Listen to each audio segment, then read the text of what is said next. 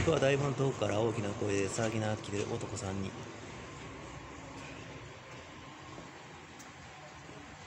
で反応の仕方としてグレイの曲聴いたら出てきてるんだけども他にももしかしたらテレビのバラエティ番組関係かもしれない。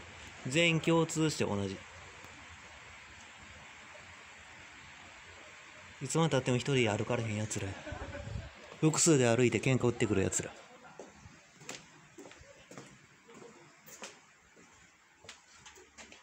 もう多分学生の頃からちゃうんかなこの辺の人間とかで。もともとそこの踏切のところで3人ぐらいでタムルとか4人とかでそういう風な人間の同じ奴らが大人になっても同じことをずっと仕掛けてきてるんじゃないかな。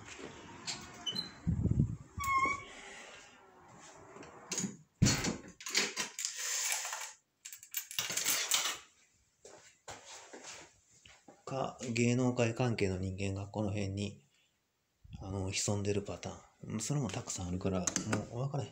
顔とかしっかり見て記録つけてで今度はその記録と検証してみなかったらもう数が多すぎる。22時44分。普通22時回って複数の人間で出歩いたりせえへん。もっと手前。19時でもそんなこと普通せえへん。